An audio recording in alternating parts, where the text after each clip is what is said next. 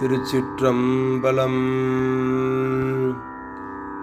திருநாவுக்கரசர் தலயாத்திரையில் அவர் வழிபட்ட எழுபத்தி இரண்டாவது தலமாக திருப்புகலூர் என்னும் தலத்தில் இருந்தே திருவாரூர் என்னும் தலத்தின் சிறப்பை சொல்லுகின்ற தேவாரப்பதிகம்.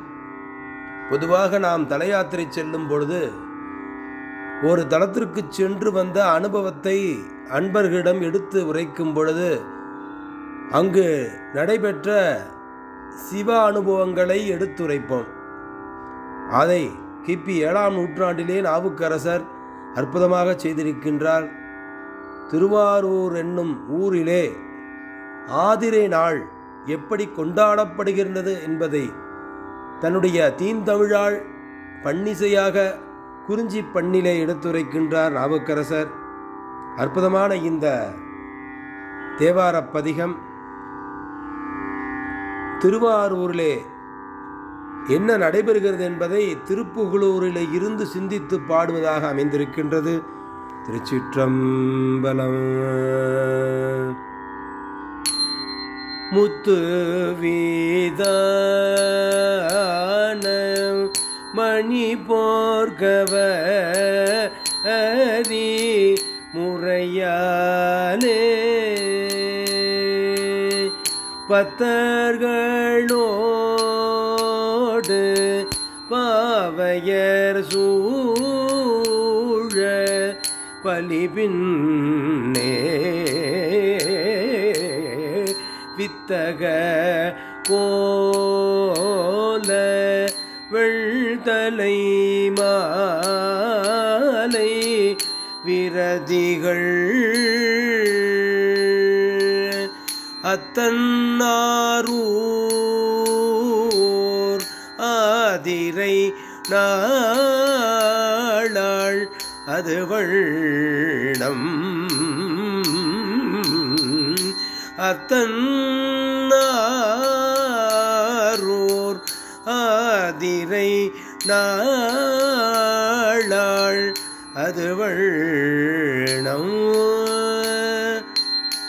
குணங்கள் பேசி கூடி பாடி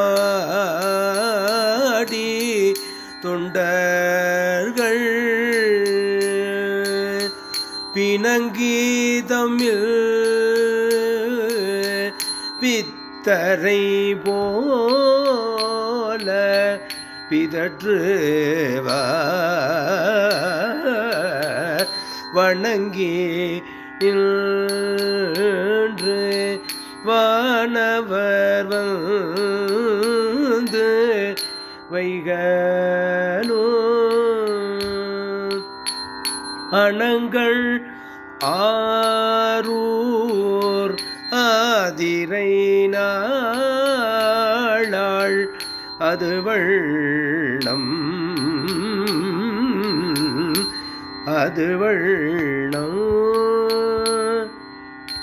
செந்தூவர்வாயார் செல்வன சேவடி சிந்திப்பார். மைந்தர்களோ மங்கையர் கூடி மயங்குவார். இந்திரன ஆதி வானவசீதர் எடுத்தேதோ. அந்திரல் ஆரூ ஆதிரை நாள் அது வண்ணம்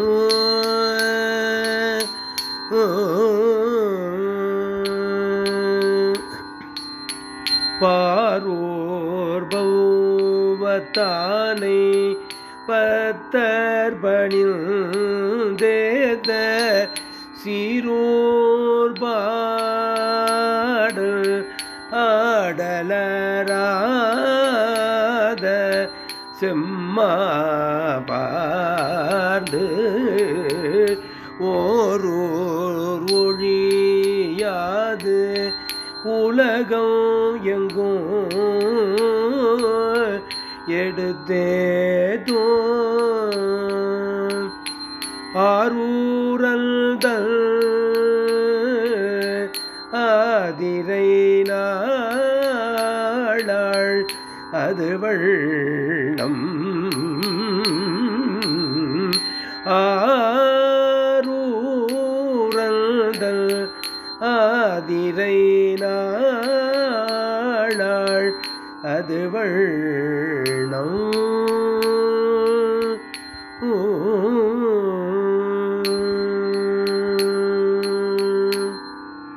திருச்சிற்றம்பலம்